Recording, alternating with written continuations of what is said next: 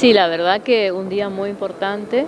para todas las instituciones y organizaciones de la comunidad que venimos trabajando la temática de la niñez y la adolescencia. Lo que hace hoy la Cámara de Diputados de nuestra provincia es unificar 10 proyectos de ley que en primer término, el primero es del 2020, donde eh, tuve la oportunidad de trabajar con mi compañero diputado eh,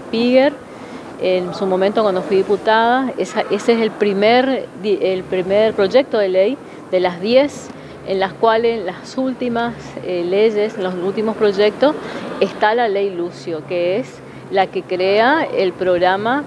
de capacitación obligatoria para todos los funcionarios y todos los organismos, tanto nacionales como provinciales y municipales, en lo que respecta a eh, la garantía de los derechos de los niños, niñas y adolescentes. Así que lo que se hace hoy va a ser poder, eh, por un lado, adherirnos a la ley nacional y por otro lado, unificar todas las leyes, así que va a ser una sola ley, que la verdad muy importante porque muchos diputados y diputadas trabajaron en distintas leyes, incluso hay una que también es el Parlamento de la Mujer.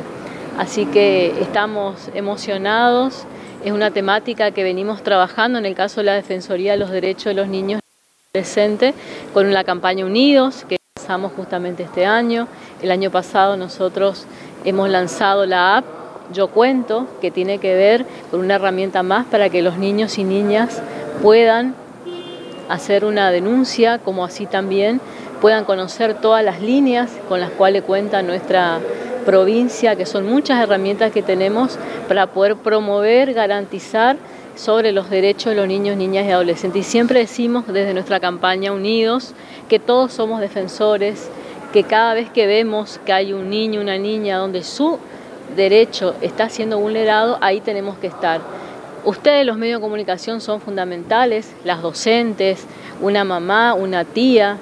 cada una, una organización social, por eso vamos sumando eh, día a día las organizaciones en nuestra campaña. Hoy justamente hicimos la primera reunión del mes de la niñez en la Defensoría, donde están, estaban los representantes de cada uno de los organismos, tanto públicos como también hemos sumado organismos privados y por supuesto las organizaciones de la comunidad que son centrales. Así que para nosotros hoy es un día muy especial donde vamos a poder sumarnos, por un lado, adherirnos a la ley 27709, que es la ley Lucio,